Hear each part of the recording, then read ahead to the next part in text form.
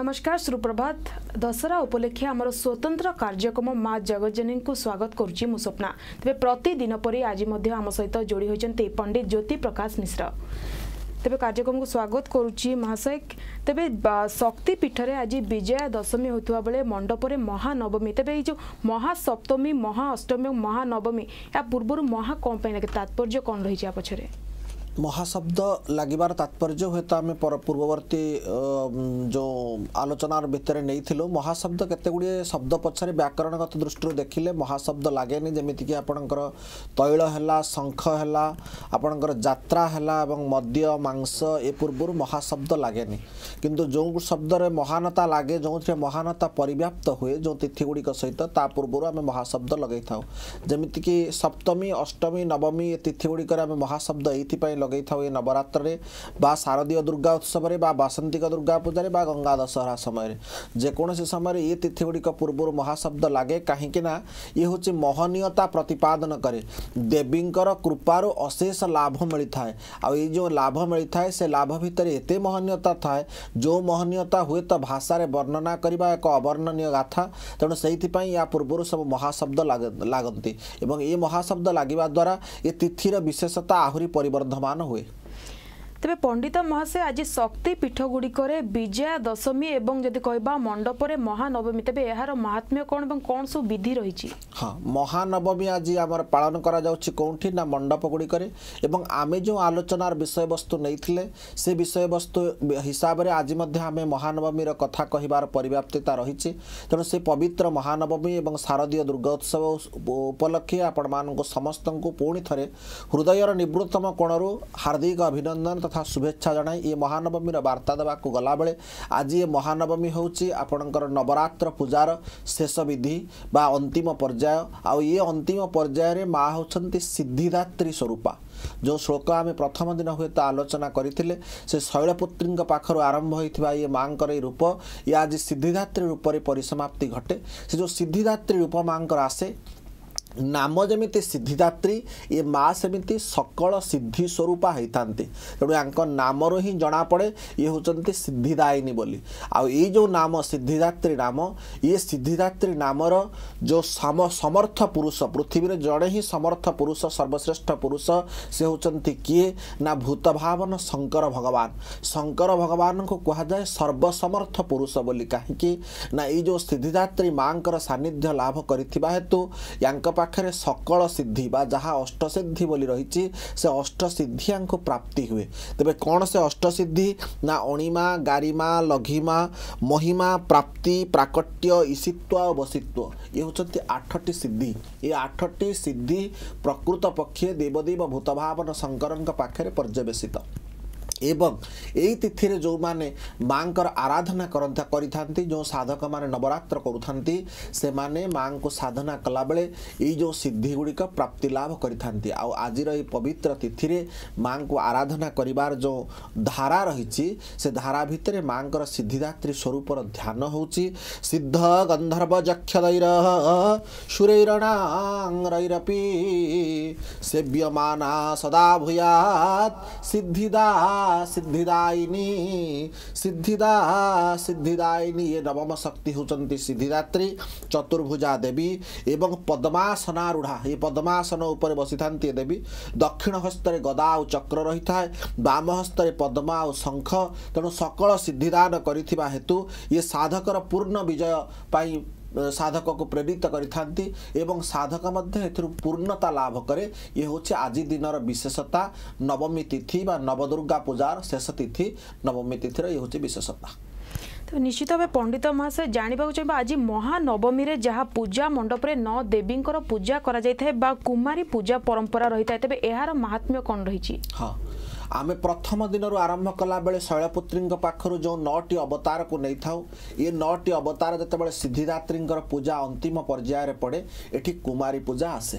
ଭଲ ପ୍ରଶ୍ନ ସୁନ୍ଦର ପ୍ରଶ୍ନ ଏ ଯେଉଁ କୁମାରୀ ପୂଜା ଆସେ ଏ କୁମାରୀ ପୂଜା ଆସିବା ପୂର୍ବରୁ ପ୍ରଭୁଙ୍କ ସହିତ ମାତାଙ୍କର ବିବାହ ସମ୍ପନ୍ନ ହୋଇସାରିଲା ପରେ ଇଏ ସର୍ବସମର୍ଥ ପୁରୁଷ ଦେବଦେବ ଭଗବାନ ଶଙ୍କର ଯେଉଁ ରୂପ ଧାରଣ କରନ୍ତି ସେ ରୂପ ହେଉଛନ୍ତି ଅର୍ଦ୍ଧ ନାରୀଶ୍ୱର ରୂପ। ଗୋଟିଏ ଭାଗ ନାରୀ ହୋଇଥିଲା ବେଳେ ଅନ୍ୟ ଭାଗଟି ପୁରୁଷର ରୂପ। ଗୋଟିଏ ଭାଗ ଶିବ ହେଇଥିଲା ବେଳେ ଅନ୍ୟ ଭାଗଟି ଶିବା।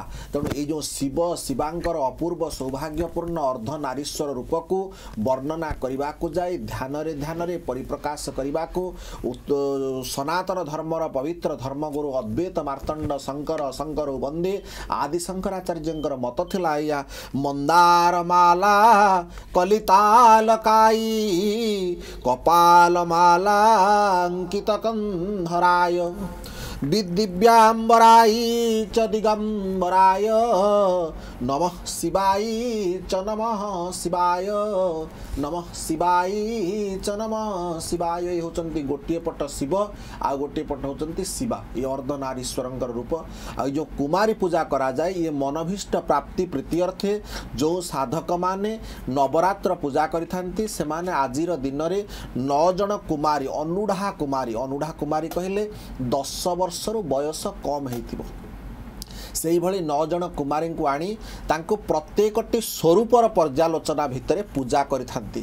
ଯେଉଁ ରୂପଗୁଡ଼ିକ ଆମେ ବର୍ଣ୍ଣନା କରିଥିଲେ ସେ ଆପଣଙ୍କର ଶୈଳପୁତ୍ରୀଙ୍କ ଠାରୁ ଆରମ୍ଭ କରି ସିଦ୍ଧିଦାତ୍ରୀଙ୍କ ସ୍ୱରୂପ ପର୍ଯ୍ୟନ୍ତ ସକଳ ସ୍ୱରୂପରେ ଜଣେ ଜଣେ କୁମାରୀଙ୍କୁ ରଖି ତାଙ୍କୁ ସବୁ ପ୍ରକାରର ଦ୍ରବ୍ୟ ଯେମିତିକି ଆପଣଙ୍କର ଅଲକତ ଦ୍ରବ୍ୟ କହିଲେ ଅଳତା କୁଙ୍କୁମ ସିନ୍ଦୁର ଚନ୍ଦନ ଏସବୁ ଦାନ ପ୍ରଦାନ କରି ତାଙ୍କୁ ସ୍ୱରୂପରେ ପୂଜା କରି ସେମାନଙ୍କୁ ଖାଦ୍ୟ ପ୍ରଦାନ କରି ବା ଭୋଗ ପ୍ରଦାନ କରି ଏବଂ ଅଷ୍ଟମୀ ନବମୀ ପୂଜାର ଯେଉଁ ଭୋଗ ଥିବ ଯେଉଁ ସନ୍ଧି ପୂଜା ସମୟର ଭୋଗ ସେମାନଙ୍କୁ ପ୍ରଦାନ କରାଯାଇ ମନଭୀଷ୍ଟ ପୂର୍ଣ୍ଣ ପ୍ରୀତି ପ୍ରାପ୍ତି ପ୍ରୀତ୍ୟାର୍ଥରେ ଯେଉଁ ପ୍ରାର୍ଥନା କରିକିରି ଡାକନ୍ତି କ'ଣ ନା ଓଂ ଅଦ୍ୟୋତାତି ଦେବୀ ପ୍ରସାଦଂ ଦିବ୍ୟଂ ମନୋଭୀଷ୍ଟଂ କାମ ପ୍ରାପ୍ତି ରାଜ୍ୟ ପ୍ରାପ୍ତି ତଦୁତ୍ତରେ ଦେବୀ ଲୋକଂ କାମହଂ ପୂଜନ ପୂର୍ବକଂ କୁମାରୀଂ ଭୋଜିସ୍ୱ ଏସବୁ ପୂଜା ସାରିଲା ପରେ କୁମାରୀମାନଙ୍କୁ ଖାଦ୍ୟ ପ୍ରଦାନ କରାଯାଏ। ଖାଦ୍ୟ ପ୍ରଦାନ କରି ସେମାନଙ୍କୁ ନମସ୍କାର କରି ତାଙ୍କର ହାତକୁ ମସ୍ତକରେ ରଖି ଆଶୀର୍ବାଦ ଗ୍ରହଣ କରି ବିଦାୟ ଦିଆଯାଏ। ତେବେ ନିଶ୍ଚିତ ଭାବେ ପଣ୍ଡିତ ମହାଶୟ ଆଉ ମଧ୍ୟ ଜାଣିବାକୁ ଚାହିଁବା ପୂର୍ବରୁ ଏଭଳି କେବେ ବି ହେଇନି ମା ପରଦା ପଛରେ ପୂଜା ପାଇଛନ୍ତି ଏବଂ ଭକ୍ତ ଅନଲାଇନରେ ମାଙ୍କୁ ଦର୍ଶନ କରୁଛନ୍ତି। ଏହାକୁ ଆପଣ କିଭଳି ଦେଖୁଛନ୍ତି? ଇଏ ତ ଏକ ସବୁଦିନିଆ ପ୍ରଶ୍ନ ଆମର। ଆଉ ସବୁଦିନ ଆମେ ଏହାର ଉତ୍ତର ରଖିଥାନ୍ତି। ଇଏ ଯେଉଁ ବର୍ଷର ପୂଜା ଇଏ ଏକ ଅଲୌକିକ ପୂଜା ଆମ ଜନମାନସରେ ଆସିଲା। ଇଏ ଯେଉଁ କରୋନାର ମହାମାରୀ ପାଇଁ ଆମେ ମାଙ୍କୁ ଆଜି ପରଦା ଆଢ଼ୁଆଳରେ ଲୁଚେଇ ଦେଲୁ। ଆଉ ମଣ୍ଡପରେ ଯାଇକରି ମାଙ୍କୁ ଦର୍ଶନ କରିବାର ସୌଭାଗ୍ୟ ପାଇଲୁନି। କିମ୍ବା ବିଧି ମୁତାବକ ଯେଉଁ ପୀଠ ଗୁଡ଼ିକ ଆମର ଥିଲା ଯେଉଁ ପୀଠାଧୀଶ୍ୱରୀ ଥିଲେ ସେ ପୀଠାଧୀଶ୍ୱରୀଙ୍କର ବିଭିନ୍ନ ପ୍ରକାର ରୂପ ଥିଲା। ତାକୁ ମଧ୍ୟ ଆମେ ଦର୍ଶନ କରିପାରିଲୁନି ବା ପ୍ରତ୍ୟକ୍ଷ କରୁଣା ଯାହା କହନ୍ତି ଆମେ ଲାଭ କରିବାରୁ ବଞ୍ଚିତ ହେଲୁ। ଆମ ଦେବାଳୟମାନଙ୍କୁ ଯାଇ ତେଣୁ ପ୍ରତ୍ୟକ୍ଷ ସବୁ ହେଲେ ମଧ୍ୟ ମନ ମନ୍ଦିରରେ ହୃଦୟ ସିଂହାସନ ଭିତରେ ମାଙ୍କୁ ପୂଜା କରି ମନ ମାନସିକର ଯେଉଁ ପୂଜା ଯେଉଁ ମାନସିକ ସ୍ତରରେ ମାତୃତ୍ୱର ପ୍ରାପ୍ତି ହେଉଛି ସାଧନାର ସିଦ୍ଧିର ପଥ। ତେଣୁ ସେହି ସାଧନାର ସିଦ୍ଧିର ପଥକୁ ଆମେ ଆଜି ଆପଣେଇଛୁ। ନିଜ ଗୃହ ଭିତରେ ନିଜର ସମ୍ପୂର୍ଣ୍ଣ ମାନସିକତାକୁ ସମ୍ବ- ସମର୍ପଣ କରିଦେଇ ଭକ୍ତି ସିଦ୍ଧି ରିଦ୍ଧି ପ୍ରାପ୍ତିର ଅ, ପ୍ରୟାସରେ ଆଜି ମାଆକୁ ଆମେ ଡାକିଛୁ ଏବଂ ସେଇ ମା ଆଜି ଆମ ମନ ମନ୍ଦିରରେ ହୃଦୟ ସିଂହାସନରେ ବସି ଆମକୁ ଆଶୀର୍ବାଦର ଧାରା ଦିଅନ୍ତୁ। ଇଏ କରୋନା ମହାମାରୀ ଦୂରୀଭୂତ ହଉ ପୁଣି ଗୋଟିଏ ବର୍ଷର ଅପେକ୍ଷା ପରେ ଆର ବର୍ଷକୁ ମାଆଙ୍କର ଇଏ ଭବ୍ୟ ଦିବ୍ୟ ପୂଜା ଆସୁ। ଆମେ ଯେମିତି ଉତ୍ସବ ମନାଉଥିଲୁ ଯେମିତି ଉତ୍ସାହର ସହିତ ଆନନ୍ଦର ସହିତ ମାଆର ଦର୍ଶନ କରୁଥିଲୁ ସେ ପ- ପ୍ରାପ୍ତି ଆମକୁ ଆଉ ଥରେ ମିଳୁ। ଏଇ ଆଶା ଭରସା ଓ ବିଶ୍ୱାସ ଭିତରେ ଏ ବର୍ଷ ପୂଜା ପାଳନ କରିବାର ବିଧି। ନିଶ୍ଚିତ ଭାବେ ଆଗାମୀ ବର୍ଷ ପୁଣି ଥରେ ସବୁକିଛି ଠିକ୍ ହେଇଯାଉ ଏବଂ ସମସ୍ତେ ମାଙ୍କ ଦର୍ଶନ କରନ୍ତୁ ଏହା ହିଁ ଆଶା କରାଯାଉଛି। ତେବେ ପଣ୍ଡିତ ମହାଶୟ ଜାଣିବାକୁ ଚାହିଁବା ଏହି ଦଶହରାରେ ଯଦି କହିବା ଗାଡ଼ି ପୂଜା ଖଣ୍ଡା ପୂଜା ଏବଂ ଅନେକ ଜିନିଷ ଯଦି ପୂଜା କରାଯାଏ ତେବେ ଏହାର ପଛରେ ମାହାତ୍ମ୍ୟ କ'ଣ ରହିଛି? ଇଏ ହେଉଛି ଆମର କୌଳିକ ବୃତ୍ତି ବା ପ୍ରଥା। ଯେଉଁ କୌଳିକ ବୃତ୍ତି ବା ପ୍ରଥାକୁ ଆମେ ଆପଣେଇ ନେଇଥାଉ ଆମ ନିଜସ୍ୱ ବୃତ୍ତି ଭାବରେ ଯାହା ଆମକୁ ଦିଆଯାଇଛି ବା ବେଦର ସଂଜ୍ଞା ଭାବରେ ଯେଉଁ ଚାରୋଟି ଜାତିରେ ଆମକୁ ବିଭକ୍ତ କରି ଦିଆଯାଇଛି ଗୋଟିଏ ହେଉଛି ବ୍ରାହ୍ମଣ କ୍ଷତ୍ରିୟ ବୈଶ୍ୟ ଆଉ ଶୂଦ୍ର ଏମାନଙ୍କର ସମସ୍ତଙ୍କର କାର୍ଯ୍ୟକ୍ରମ ଦିଆଯାଇଛି। କେହି କାହାଠାରୁ ଉଣା ନୁହନ୍ତି ସମସ୍ତେ ନିଜ ନିଜର ବିଭାଗକୁ ନେଇକରି ସ୍ଥାୟୀ ଏବଂ ନିଜ ନିଜର ବିଭାଗ ଦ୍ୱାରା ନିଜର କାର୍ଯ୍ୟକୁ ସମ୍ପାଦନ କରିଥାନ୍ତି। ତେଣୁ ଯାହାର ଯାହା କୌଳିକ ବୃତ୍ତି ସେ କୌଳିକ ବୃତ୍ତିକୁ ଏ ମାତୃଶକ୍ତି ବା ଆଦିଶକ୍ତି ବା ପାଖରେ ସମର୍ପଣ କରି ସେମାନେ ହୁଏତ ଏଇ କାମନା କରିଥାନ୍ତି ମା ମୋ କୌଳିକ ବୃତ୍ତି ମୋ ପାଇଁ ବର୍ଷକ ପାଇଁ ମଙ୍ଗଳଦାୟୀ ହଉ ଫଳଦାୟୀ ହଉ ଶୁଭଦାୟୀ ହଉ। ଯେଉଁ ବୃତ୍ତିକୁ ଆପଣେଇବାର ପ୍ରୟାସ ତୁ ମୋତେ ପ୍ରଦାନ କରିଛୁ ମା ଆଦିଶକ୍ତି ହିସାବରେ ସେ ପ୍ରଦାନର ଧାରା ମୋର ସେମିତି ଅପରିବର୍ତ୍ତିତ ରହୁ। ତୋରି ଚରଣାର ବିନ୍ଦ ତଳେ ମୋର ଭକ୍ତିସିକ୍ତ ନୟନ ସଦାସର୍ବଦା ନତମସ୍ତକ ଭାବରେ ରହିଥାଉ। ଏଇ ଆଶା ଆଉ ବିଶ୍ୱାସ ଭିତରେ ମୋ ସଂସାର ମୋ ବୃତ୍ତି ସବୁକିଛି ସୁରକ୍ଷିତ ରହୁ। ଏଇଥିପାଇଁ ସମସ୍ତେ ପୂଜାବିଧି କରିଥାନ୍ତି। ତେବେ ନିଶ୍ଚିତ ଭାବେ ଯଦି କହିବା ମଣ୍ଡପ ଯାଇ ପୂଜା କରିଥାନ୍ତି ମାନେ ପ୍ରାୟତଃ ଯଦି ଦେଖିବା ଦଶହରା ଆସିଲା ମାନେ ମହିଳାମାନେ ଏବଂ ଝିଅମାନେ ଯାଇ ପୂଜା ବେଦୀରେ ମାଙ୍କୁ ଦର୍ଶନ କରିଥାନ୍ତି ଏବଂ ପୂଜା ରୀତିନୀତି ସହିତ ସମ୍ପନ୍ନ କରିଥାନ୍ତି। କିନ୍ତୁ ଚଳିତ ବର୍ଷ କେହି ମଣ୍ଡପକୁ କିମ୍ବା ପୀଠକୁ ଯିବା ପାଇଁ ଅନୁମତି ନାହିଁ ଯେହେତୁ କୋରୋନା କଟକଣା ଅଛି। ତେବେ ଘରେ କିଭଳି ଭାବେ ସେମାନେ ପୂଜା କରିବେ? ଘରେ ଆପଣମାନଙ୍କୁ ଆମେ ପୂର୍ବବର୍ତ୍ତୀ ଅଧ୍ୟାୟରେ ମଧ୍ୟ ଆଲୋଚନା କରିଥିଲେ ଏକଥା ମଣ୍ଡପକୁ ନ ଯାଇପାରିଲେ ମଧ୍ୟ ଦେବୀପୀଠକୁ ନ ଯାଇପାରିଲେ ମଧ୍ୟ ବ୍ରତଧାରିଣୀମାନେ ନିଜ ଘରେ ଘଟ ସ୍ଥାପନ କରି ମାଙ୍କୁ ଆରାଧନା କରି ବା ନିଜ ଘରେ ଥିବା ପ୍ରତିମାକୁ ପୂଜା କରି ଶ୍ରୋତ୍ରିୟ ବ୍ରାହ୍ମଣମାନଙ୍କର ମନ୍ତ୍ରପାଠ ଦ୍ୱାରା ହଉ ବା ଆପଣମାନଙ୍କର ହୋମଯଜ୍ଞ ଆଦି ଯାହା କାର୍ଯ୍ୟ କରିବାର ବିଧି ରହିଛି ସେଇ ବିଧି ଭିତରେ ମନମାନସିକର ପୂଜାକୁ ସମର୍ପଣ କରି ମା ପାଖରେ ସମସ୍ତ ଦୁଃଖ ଦୈନ୍ୟକୁ ଜଣେଇ ହେ ମା ହେ ଶୁଭକାମ୍ପଲ୍ୟ ବାସିନୀ ତୋରି ଚରଣାର ବିନ୍ଦ ତଳେ ଶତକୋଟି ପ୍ରଣାମ ପୂର୍ବକ ତୋ ପୂଜା ଜାଣିନି ତୋ ମନ୍ତ୍ର ଜାଣିନି ତୋ କ୍ରିୟା ଜାଣିନି ହେଲେ ତୋରି ପାଖରେ ଚରଣାର ବିନ୍ଦ ତଳେ ଶରଣ ରହୁଛି ମା। ମୋର ଏ ସକଳ ପାପତାପକୁ କ୍ଷୟ କରି ଧୌତ କରି ମୋ ମନ ମନ୍ଦିରରେ ବିଜା ବିରାଜମାନ କର ହୃଦ ସିଂହାସନରେ ବିରାଜମାନ କର। କ୍ଷମାଦାୟୀ ହୁଅ ବୁଦ୍ଧି ପ୍ରଦାୟିନୀ ସିଦ୍ଧି ପ୍ରଦାୟିନୀ ହୁଅ ମଙ୍ଗଳଦାୟୀ ହୁଅ ଏଇ ଭାବନାର ଉଚ୍ଚାଟ ଭିତରେ ଘରେ ମଧ୍ୟ ଏ ବ୍ରତ ଆଚରଣ କରାଯାଇପାରିବ ଆଉ ଏ ବ୍ରତ ସମସ୍ତେ ଘରେ ମଧ୍ୟ କରନ୍ତି। ଏମିତିକି ଆମର ଉଗ୍ର ଦେଶ ବା ଉତ୍କଳ ପ୍ରଦେଶକୁ ଛାଡ଼ିଦେଲେ ବଙ୍ଗ ପ୍ରଦେଶକୁ ଛାଡ଼ିଦେଲେ ଅନ୍ୟ ଜାଗାମାନଙ୍କରେ ଏମାନେ ଘର ମଧ୍ୟରେ ସମସ୍ତେ ପ୍ରାୟ ନବରାତ୍ରି ପୂଜା ବୈଷ୍ଣବୀ ମତରେ କରନ୍ତି ଏବଂ ଆମ ଉତ୍କଳୀୟ ପରମ୍ପରାରେ ମଧ୍ୟ ଦୁର୍ଗା ପୂଜା ଘରେ କରାଯାଏ ଏଥିରେ କୌଣସି ଅସୁବିଧା ନାହିଁ ନିଶ୍ଚିତ ଭାବେ ତେବେ ପଣ୍ଡିତ ମାସେ ଜାଣିବାକୁ ଚାହିଁବା ଦଶମୀ ଯାଇ ଦୁର୍ଗା ପୂଜା ପାଳନ କରାଯାଇଥାଏ ତେବେ ଏହା ପଛରେ କିଭଳି ଏହା ଆରମ୍ଭ ହୋଇଥିଲା ଏବଂ କ'ଣ ପାଇଁ ମା ଦୁର୍ଗାଙ୍କୁ ପୂଜା କରାଯାଉଛି ଏବଂ ଅ, ଷଷ୍ଠୀ ସପ୍ତମୀ ଅଷ୍ଟମୀ ନବମୀ ଦଶମୀ ଯଦି କହିବା ଅତି ଧୁମଧାମର ସହିତ ଯଦି କହିବା ଭାରତବାସୀ ପାଳନ କରିଥାନ୍ତି। ଦୁର୍ଗା ପୂଜାର ଐତିହ୍ୟ ହୁଏତ ଯେଉଁ ଦୁର୍ଗା ପୂଜାର ବିଧି ରହିଛି ଯେଉଁ ଶରତକାଳୀନ ପୂଜା ଏ ହେଉଛି ଅକାଳ ବୋଧନୀ ପୂଜା। ଏ ଅକାଳ ବୋଧନୀ ପୂଜା କରିବା ପାଇଁ ଆପଣଙ୍କର ମାର୍କଣ୍ଡେୟ ପୁରାଣ ହୁଏତ ସାତଶହ ଶ୍ଲୋକ ବିଶିଷ୍ଟ ସପ୍ତସତୀ ଚଣ୍ଡୀ ପ୍ରଦାନ କରିଛନ୍ତି। ସପ୍ତସତୀ ଚଣ୍ଡୀରେ ରକ୍ଷ ଶକ୍ତି ଉପରେ ମାତୃଶକ୍ତିର ବିଜୟ ବା ଯାହା ନିଜର ଅହମିକା ଦର୍ବ ଦମ୍ଭ ରହିଛି ବା ଯେଉଁ ଅହଙ୍କାର ମନ ଭିତରେ ଥିଲା ସେ ଅହଙ୍କାରକୁ ଛାଡ଼ି ଦେଇ କିଭଳି ଭାବରେ ଜଣେ ଏ, ସ୍ୱଚ୍ଛଳ ଜୀବନଯାପନ କରିବ ସେ ଭାବଧାରା ଏଥିରେ ପରିବ୍ୟାପ୍ତ ହେଇଛି। ଆଉ ସପ୍ତସତୀ ଚଣ୍ଡୀ ମଧ୍ୟ ସେଇ କଥା ବତେଇଛନ୍ତି ଯେମିତିକି ଶୁମ୍ଭ ନିଶୁମ୍ଭଙ୍କର ବଧ ହେଉ ମଧୁକୈଟବଙ୍କର ବଧ ହେଉ ମହିଷାସୁରର ବଧ ହେଉ ଏହିସବୁ ମାଙ୍କ ଦ୍ୱାରା ସମାପିତ ହେଇଛି ଏବଂ ପରବର୍ତ୍ତୀ ପର୍ଯ୍ୟାୟରେ ଆଉ ଗୋଟିଏ ବିଧି ମଧ୍ୟ ଆମେ ଜାଣିଛୁ ତ୍ରେତୟା ଯୁଗର ଭଗବାନ ଅ, କୌଶଳ କିଶୋର ରାଘବେନ୍ଦ୍ର ସରକାର ମଧ୍ୟ ରାବଣର ଯେଉଁ ଅହମିକା ଉପରେ ଲଙ୍କା ଉପରେ ଯେଉଁ ବିଜୟ ଲାଭ କରିଥିଲେ ସେ ବିଜୟ ପାଇଁ ମଧ୍ୟ ସେ ମାତୃ ଆରାଧନା କରିଥିଲେ ଏବଂ ପଦ୍ମାଭିଷେକ କରେଇଥିଲେ ମାଙ୍କୁ। ସେଇ ମାଙ୍କର ଆଶୀର୍ବାଦରୁ ସେ ବିଜୟା ଦଶମୀରେ ରାବଣ ଉପରେ ଯେଉଁ ଅତ୍ୟାଚାର ରାବଣର ଅତ୍ୟାଚାର ଉପରେ ବା ଲଙ୍କାର ଅହମିକା ଶକ୍ତି ଉପରେ ଯେଉଁ ବିଜୟ ପ୍ରାପ୍ତି କରେଇଥିଲେ ଏ ହେଉଛି ଏହାର ମୂଳ କାରଣ। ତେବେ ନିଶ୍ଚିତ ଭାବେ ପଣ୍ଡିତ ମାସେ ଯଦି କହିବା ମାଙ୍କର ସ୍ୱରୂପ ସବୁ ଆଲୋଚନା କଲୁ ତେବେ ଏହା ପଛରେ କ'ଣ ରହସ୍ୟ ରହିଛି କି? ସ୍ୱରୂପ ପ୍ରତ୍ୟେକ ସ୍ୱରୂପର ରହସ୍ୟ ଆମେ ବତେଇଛନ୍ତି। ଗୋଟି ଗୋଟି କରିକି ଆମେ ଶୈଳପୁତ୍ରୀଙ୍କ ଠାରୁ ଆରମ୍ଭ କରି ସିଦ୍ଧିଦାତ୍ରୀଙ୍କ ପର୍ଯ୍ୟନ୍ତ ପ୍ରତ୍ୟେକ ସ୍ୱରୂପର ସଂଜ୍ଞା ଦେଇଛୁ। ତାର ରହସ୍ୟ ମଧ୍ୟ ଆପଣଙ୍କୁ ଜଣେଇଛୁ। ପ୍ରତ୍ୟେକ ସ୍ୱରୂପ ଆପଣଙ୍କ ପାଇଁ ମଙ୍ଗଳଦାୟୀ ହୋଇଥାନ୍ତି। କୌଣସି ସ୍ୱରୂପ ଭୟଙ୍କର ନୁହନ୍ତି ବା କୌଣସି ସ୍ୱରୂପ ସନ୍ତାନର କ୍ଷତି ଚାହାନ୍ତି ନାହିଁ। ପ୍ରତ୍ୟେକ ସ୍ୱରୂପ ମଙ୍ଗଳଦାୟୀ ପ୍ରତ୍ୟେକ ସ୍ୱରୂପ ଆତ୍ମଫଳଦାୟୀ ଏବଂ ପ୍ରତ୍ୟେକ ସ୍ୱରୂପ ଶରୀରକୁ ବା ସାଧକକୁ ସିଦ୍ଧି ପ୍ରଦାନ କରିଥାନ୍ତି ଏବଂ ସାଧକର ଆଧାରିତ ଷଡ଼ଚକ୍ର ଉପରେ ଆରାଧନାର ଭିତ୍ତିଭୂମି କରି ପ୍ରତ୍ୟେକ ସ୍ୱରୂପରେ ମାଙ୍କର ବୀଜମନ୍ତ୍ର ଓଂ ଅମ୍ବି ଅମ୍ବିକେ ଅମ୍ବାଳିକେ ନମାଃ ନୟତି କଶ୍ଚନ ସୁଭଦ୍ରୀ ଶୁଭକାମ୍ପଲ୍ୟବାସିନୀ ସ୍ତ୍ୱକ୍ ଅମ୍ବିକାଇ ଏହି ମନ୍ତ୍ରର ମନ୍ତ୍ରାୟିତ ତନୁ ଭିତରେ ଏବଂ ଅନ୍ୟାନ୍ୟ ବୀଜମନ୍ତ୍ର ଯାହା ରହିଛି ମାଙ୍କର ଯେଉଁ ତିନୋଟି ସ୍ୱରୂପ ସପ୍ତସତୀ ବର୍ଣ୍ଣନା କରିଛି ଓଂ ହ୍ରିଂ ଶ୍ରୀଂ କ୍ଲିଂ ଏ ଯେଉଁ ମହାସରସ୍ୱତୀ ମହାଲକ୍ଷ୍ମୀ ଏବଂ ମହାକାଳୀଙ୍କର ସ୍ୱରୂପ ଏ ସ୍ୱରୂପ ମଧ୍ୟରେ ମଧ୍ୟ ଆମେ ମାଙ୍କର ଆରାଧନା କରି ତାଙ୍କର ପ୍ରତ୍ୟେକଟି ସ୍ୱରୂପରେ ଫଳଦାୟୀର ଆଶାରେ ଏବଂ ଆଶା ସ୍ୱରୂପ ମାଙ୍କର ମଙ୍ଗଳ ବିଦ ମାଙ୍କର ମଙ୍ଗଳ କାମନା ଏବଂ ଆମ ନିଜର ମଙ୍ଗଳ କାମନା ମଧ୍ୟ ମାଙ୍କ ଠାରୁ ମଙ୍ଗଳ ପ୍ରାପ୍ତି କରେଇ ପାରିଛି। ତେବେ ନିଶ୍ଚିତ ଭାବେ ପଣ୍ଡିତ ମାସେ ତେବେ ନିଶ୍ଚିତ ଭାବେ ଯଦି କହିବା କରୋନା କଟକଣା ଯୋଗୁଁ କୋଉଠି ନା କୋଉଠି ଚଳିତ ବର୍ଷ ଦୁର୍ଗା ପୂଜା ଫିକା ପଡ଼ିଛି। କାହିଁକି ନା ଯଦି କହିବା ମଣ୍ଡପରେ କେବଳ ମା ଅଛନ୍ତି ଏବଂ କହିବା ଯଦି ଆ, ଇତିହାସରେ ପ୍ରଥମ ଥର ଏଭଳି ହୋଇଥିବ କାହିଁକିନା ବିନା ଭକ୍ତରେ ମା ପ- ଆ, ପୂଜା ପାଉଛନ୍ତି ଏବଂ ପରଦା ପଛରେ ମା ଅଛନ୍ତି ଏବଂ ଅନଲାଇନରେ ଦ- ଭକ୍ତମାନେ ଦର୍ଶନ କରୁଛନ୍ତି। ତେବେ ଆଜିର ଯେଉଁ ରୀତିନୀତି ରହିଛି ଆଜି କିଭଳି ଭାବେ ମାଙ୍କ ରୀତିନୀତି ଏବଂ କ'ଣ ସବୁ ବିଧି ରହିଛି ଆଉ ଥରେ ଜାଣିବାକୁ ଚାହିଁବା। ମଣ୍ଡପରେ ଯେଉଁ ନବମୀ ପୂଜା ଆଜି ପାଳନ କରାଯାଉଛି ମଣ୍ଡପର ନବମୀ ପୂଜା ଆଜି ଅୟମାରମ୍ଭ ହୁଏ କେଉଁଠୁ? ନା ମାଙ୍କର ଯେଉଁ ଯେମିତି ଆମେ ଯଥା ଦେବେ ତଥା ଦେହି ଯେମିତି ଶରୀରର ମାର୍ଜନା ଆମେ କରେଇଥାଉ ସେଇଭଳି ଭାବରେ ଦନ୍ତକାଷ୍ଠ ପ୍ରଦାନ କରାଯାଇ ମାଙ୍କର ମୁଖ ପ୍ରକ୍ଷାଳନ ଠାରୁ ଆରମ୍ଭ କରାଯାଏ ଷୋଡ଼ଶ ଉପଚାରର ପୂଜା ବିଧି ଆଜି ପାଳିତ କରାଯାଏ ଏବଂ ଏହି ପୂଜା ବିଧି ଭିତରେ ଯେତେବେଳେ ଉତ୍ତରାଷାଢ଼ ଯୁକ୍ତ ନକ୍ଷତ୍ରରେ ନବମୀ ବା ଆ, ଆ, ଉତ୍ତରାଷାଢ଼ ନକ୍ଷତ୍ର ନ ହୋଇଥିଲେ ମଧ୍ୟ ନବମୀ ତିଥି ହେଇଥିଲେ ଏହି ତିଥିରୁ ମାଙ୍କର ପୂଜା ଆରାଧନା କରାଯାଏ। ଆଉ ଆଜିର ଏଇ ଯେଉଁ ପବିତ୍ର ପୂଜା ମାଙ୍କ ପାଖରେ କରାଯାଏ ଏ ପବିତ୍ର ପୂଜାର ବାତାବରଣ ଭିତରେ ଆଜି ବଳିଦାନ ରହିଛନ୍ତି। ଆଜି ମଧ୍ୟ ଏହି ପବିତ୍ର ନବମୀର ବାତାବରଣରେ ମାଙ୍କର ସକଳ ସିଦ୍ଧି ପ୍ରାପ୍ତିର ରୂପରେ ମାଙ୍କୁ ପୂଜା କରାଯାଏ ଏବଂ ଏ ପୂଜା ଭିତରେ ହୋମ ସଂସ୍କାର ରହେ।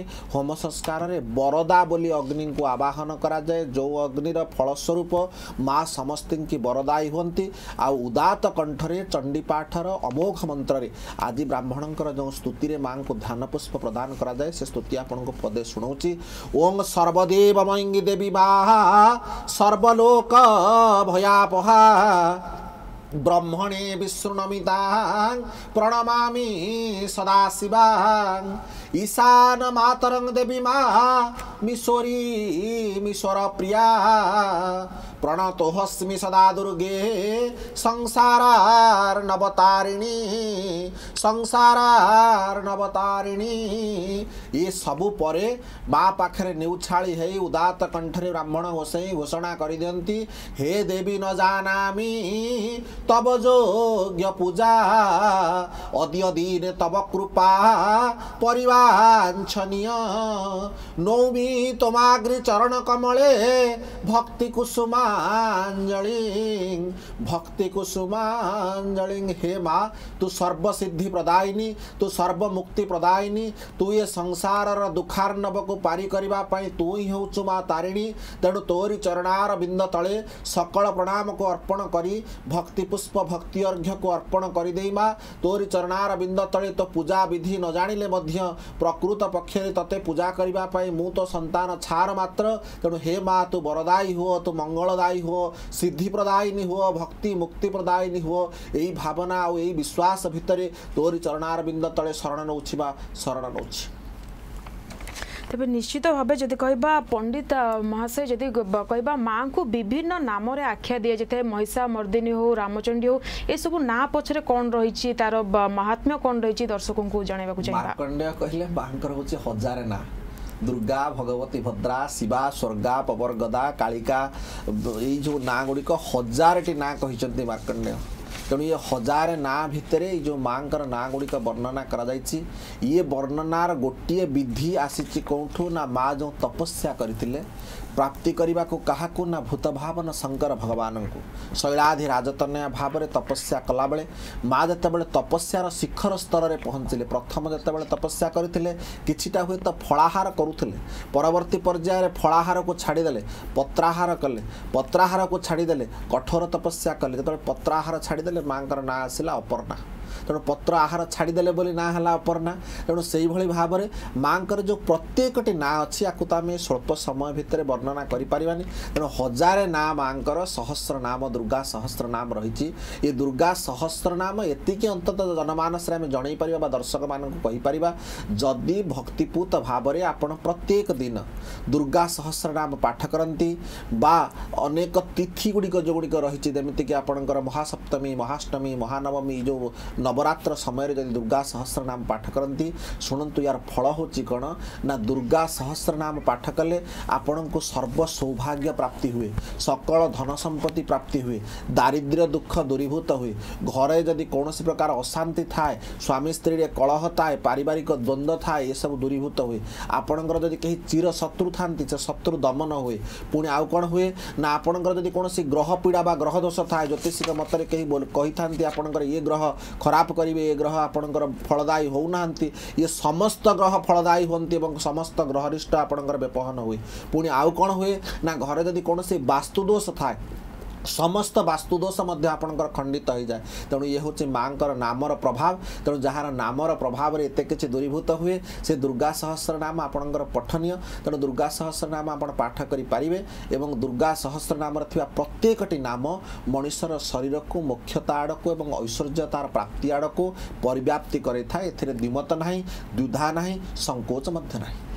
নিশ্চিত ভাবে যদি কহবা চলিত বর্ষ যদি কহবা তবে যদি যে ষোড়শ দিনাত্মক পূজা কালরে দেবী পীঠ মা রাজ রাজেশ্বরী সিংহ বাহিনী হরচণ্ডী মহালক্ষ্মী মহিষা মর্দনী বেশরে দর্শন দিয়েছেন তবে এর মাহাত্ম্য কণ রয়েছে ইয়ে যে মাহাত্ম্য ইয়ে দশ মহাবিদ্যার রূপর আসিছি যে রাজে রাজ রাজরাজেশ্বরী মহালক্ষ্মী ইয়ে যে বেশগুড়ি কৌন ইয়ে হচ্ছে মাঙ্কর দশ মহাবিদ্যার রূপ মহালক্ষ্মী মহাকালী আহা সরস্বতী মার্কণ্ডেয় পুরাণের চ ଚଣ୍ଡୀର ଶାସ୍ତ୍ର ଅନୁସାରେ ମାଙ୍କର ଏଇ ରୂପକୁ ବର୍ଣ୍ଣନା କରାଯାଇଛି ଆଉ ଇଏ ପ୍ରତ୍ୟେକଟି ରୂପରେ ମା ଜଣେ ଜଣେ ଦୈତ୍ୟକୁ ବିନାଶ କରିଛନ୍ତି ଶୁମ୍ଭ ନିଶୁମ୍ଭ ମଧୁକୈଟଭ ଏବଂ ମହିଷାସୁର ମହିଷାସୁରକୁ ବଦ୍ଧ କଲାବେଳେ ଆମେ ହୁଏତ ସମସ୍ତ ଜନମାନସ କହେ ମା ଦୁର୍ଗା ରୂପରେ ବଦ୍ଧ କରନ୍ତି ବୋଲି। କିନ୍ତୁ ନା ମହିଷାସୁରକୁ ବଦ୍ଧ କଲାବେଳେ ମାଙ୍କର ସ୍ୱରୂପ ହେଉଛି ମହାଲକ୍ଷ୍ମୀ ସ୍ୱରୂପ ଲକ୍ଷ୍ମୀ ପଦ୍ମାଳୟା ପଦ୍ମା କମଳାଶ୍ରୀ ହରିପ୍ରିୟା ଇନ୍ଦିରା ଲୋକମାତର ମା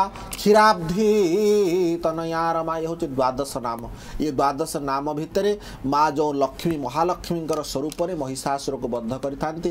ତେଣୁ ସେ ଯେଉଁ ମହିଷାସୁର ବଦ୍ଧର କାହାଣୀ ଆମର ଇଏ ପୂଜା ସହିତ ଯୋଡ଼ି ଦିଆଯାଇଥିବା ହେତୁ ଶକ୍ତିପୀଠ ଗୁଡ଼ିକରେ ମାଙ୍କର ଯେଉଁ ଦଶ ମହାବିଦ୍ୟାର ରୂପ ଭିତରେ ଇଏ ରୂପ ଗୁଡ଼ିକ ଆସନ୍ତି। ତେଣୁ ମାଙ୍କୁ ଗୋଟିଏ ଦିନରେ ମହାସରସ୍ୱତୀ ରୂପ ମହାକାଳୀ ରୂପ ରାଜରାଜେଶ୍ୱରୀ ରୂପ ମହାଲକ୍ଷ୍ମୀଙ୍କ ରୂପରେ ମାଙ୍କୁ ସଜେଇ ଦିଆଯାଏ ବା ସଜ୍ଜିତ କରାଯାଏ।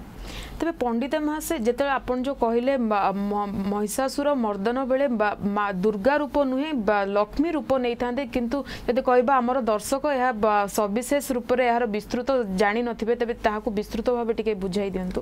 ଅପୂର୍ବ ଭାବରେ ଆପଣ ଯେତେବେଳେ ଚଣ୍ଡୀ ଶାସ୍ତ୍ର ଭିତରକୁ ଯାଉଛନ୍ତି ମାଙ୍କର ଯେଉଁ ମହାଲକ୍ଷ୍ମୀ ରୂପ ଦୁର୍ଗାଙ୍କର ଯେଉଁ ରୂପ ଦେଖନ୍ତି ଦୁର୍ଗାଙ୍କ ରୂପଠାରୁ ଆଉ କମନୀୟ ରୂପ କିଛି ମାଙ୍କର ନାହିଁ। ଏତେ ସୁନ୍ଦର ରୂପ ଯେଉଁ କମନୀୟ ରୂପର ବର୍ଣ୍ଣନା କରିବା ହୁଏତ ଅଧମରେ ଭାବାଧନ। କିନ୍ତୁ ସେ ମାଙ୍କର ଯେଉଁ ରୂପ ଆସିଥାଏ ଏ ଚଣ୍ଡୀ ବା ମାର୍କଣ୍ଡେୟ ପୁରାଣର ଯେଉଁ ସାତଶହ ଶ୍ଲୋକକୁ ନେଇ ସପ୍ତଶତୀ ବ୍ୟାଖ୍ୟା କରାଯାଇଛି ସେ ବ୍ୟାଖ୍ୟାରେ ଏ ମାଙ୍କର ହେଉଛି ମହାଲକ୍ଷ୍ମୀ ରୂପ।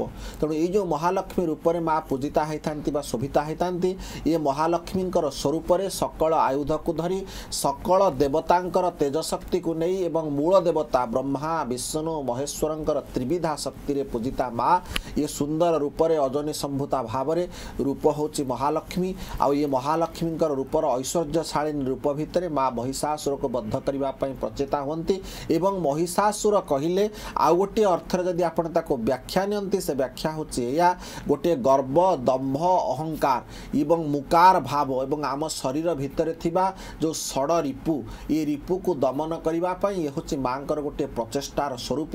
ଆଉ ସେଇ ପ୍ରଚେଷ୍ଟାର ସ୍ୱରୂପ ଭିତରେ ଜନମାନସକୁ ସଂଜ୍ଞା ଯାଉଛି ଏଇଆ ରେ କଳିହତ ମାନବ ହୁଏତ ତୋ ନିଜର ଦମ୍ଭ ଅହଙ୍କାର ଆଉ ଦର୍ପକୁ ନେଇ ତୁ ଗର୍ବ କରିଥାଇପାରୁ। କିନ୍ତୁ ସିଏ ଗର୍ବ ଦର୍ପ ଅହଙ୍କାର କିଛି ରହେନି। ସେ ସାଜସଜାର କିଛି ମାନ ନଥାଏ।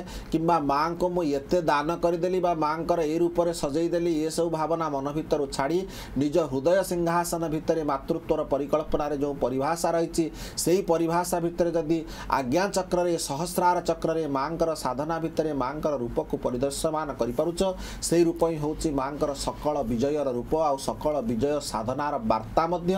ତେଣୁ ସେଇ ବାର୍ତ୍ତା ଭିତରେ ଇଏ ମହିଷାସୁରର ବଧ ଆସେ।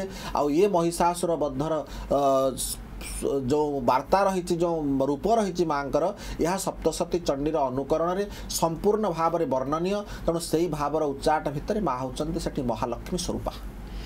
নিশ্চিত ভাবে পণ্ডিত জ্যোতি প্রকাশ মিশ্র মহাশয় তবে সময় তো সরবাকু আসলে তবে আজির কিছু বিশেষ বিধি রয়েছে কি বিশেষ মহাত্ম্য রয়েছে আজির দিনরে তবে সে তাহা দর্শক জনাইবাকু চাইবা যা বিশেষ বিধি আপন মানকু কহিলি যেমিতি কুমারী পূজা যে নবদুর্গা সাধনা করেছেন বা নবদুর্গা পূজা করেছেন সে আজ কুমারী পূজা করবে এবং যে মণ্ডপ গুড়িকরে পূজা চালিছি সে মণ্ডপর পূজা অনুসারে পূজা বিধি তো আপনার বতাইলি মাঙ্কর বীজমন্ত্র মধ্যে কহিলি সেই ভাবনার উচ্চাট ভিতরে মণ্ডপর পূজা আগেব আর বরদা নামনি ଅଗ୍ନି ଆଜି ଆବାହିତ ହେବେ ଏବଂ ମଣ୍ଡପରେ ବଳିଦାନର ପ୍ରଥା ମଧ୍ୟ ଆଜି ରହିଛି। କୁଷ୍ମାଣ୍ଡ ବଳି ମାସୋଦକ ବଳି ଏସବୁ ମଧ୍ୟ ମଣ୍ଡପରେ ଆଜି ଲାଗି ହେବ ଏବଂ ମାଙ୍କର ମହାନବମୀ ପୂଜାର ପରିସମାପ୍ତି ପର୍ବକୁ ଗଲାବେଳେ ଯେଉଁ ସୁନ୍ଦର ଧ୍ୟାନ ମଧ୍ୟ ଆପଣଙ୍କୁ ସର୍ବଦେବ ମୟଙ୍ଗୀ ଦେବୀର ଧ୍ୟାନ ଶୁଣେଇଛି ସେ ଧ୍ୟାନ ମଧ୍ୟ ମାଙ୍କ ପାଖରେ ଆଜି ଅର୍ଚ୍ଚନାର ବନ୍ଦନାର ପରିବ୍ୟାପ୍ତି ଭିତରେ ଆପଣ ଧ୍ୟାନ ପୁଷ୍ପ ସମର୍ପଣ କରିବେ। ପରିଶେଷରେ ସେଇ ମାଙ୍କର ପୂଜାର ଆଜି ଯେଉଁ ନବମୀ ତିଥିରେ ଅପୂର୍ବ ସୁନ୍ଦର ଭାବରେ ମାଙ୍କୁ ଆଉଥରେ ପ୍ରଣିପାତ ପୂର୍ବକ ସେଇ ଧ୍ୟାନରେ ଧ୍ୟାନରେ କାର୍ଯ୍ୟକ୍ରମକୁ ସାରିବାକୁ ଗଲାବେଳେ लावळे. चंग चंग चंग चंद्रहासा चकित, चह चह. चाचरा शुभ्र शुभ्रकेसा. जंग जंग जंग जगन माता जगत जनिहिता, जगत जनहिता, जोगिनी, जोगमाया. टंग टंग टंग टंकार नादा टर टर, नयना. टाटरा शुभ्र शुभ्रकेसा. रंग रंग रंग, रक्तवर्णा रमणि मणिमया पातुमां, ठाकुराणी ପାତୁମାଂ ଠାକୁରାଣୀ ହେ ମା ତୁ ଏ ନବମୀ ତିଥିରେ ବରଦାୟୀ ହୁଅ ମା ଶୁଭଦାୟୀ ହୁଅ। ସକଳ ଜନମାନସର ଏ ପରିବ୍ୟାପ୍ତ ଦୁଃଖକୁ ଦୂର କରି ସମସ୍ତଙ୍କ ମନମାନସରେ ଶାନ୍ତି ଏବଂ ସୁଖର ବାର୍ତ୍ତା ପ୍ରଚାର କର। ଏହି କାମନା ବାସନା ତଥା ନବ ଉନ୍ମାଦନା ଭିତରେ ତୋରି ଚରଣାର ବିନ୍ଦ ତଳେ ଶତକୋଟି ପ୍ରଣାମ ମା ଶତକୋଟି ପ୍ରଣାମ। ନିଶ୍ଚିତ ଭାବେ ଯଦି କହିବା ପଣ୍ଡିତ ଜ୍ୟୋତି ପ୍ରକାଶ ଆ, ମିଶ୍ର ମହାଶୟ ଅତି ସୁନ୍ଦର ଭାବରେ ଆଜିର ଦିନର ମହାତ୍ମ୍ୟ ବିଧି ରୀତିନୀତି ଆମକୁ ବୁଝାଇଲେ। ଧନ୍ୟବାଦ ଆ, ପଣ୍ଡିତ ମହାଶୟ ଆପଣଙ୍କୁ ଏଥିପାଇଁ। ତେବେ ଆଜିର ଆମ ସ୍ୱତନ୍ତ୍ର କାର୍ଯ୍ୟକ୍ରମ ମା ଜଗତଜନରେ ସମୟ ସରିଛି। ଆସନ୍ତାକାଲି ପୁଣି ଥରେ ପଣ୍ଡିତ ଜ୍ୟୋତି ପ୍ରକାଶ ମିଶ୍ରଙ୍କ ସହିତ ପୁଣି ଥରେ ଆପଣଙ୍କ ସାମ୍ନାରେ ରହିବୁ। ନମସ୍କାର।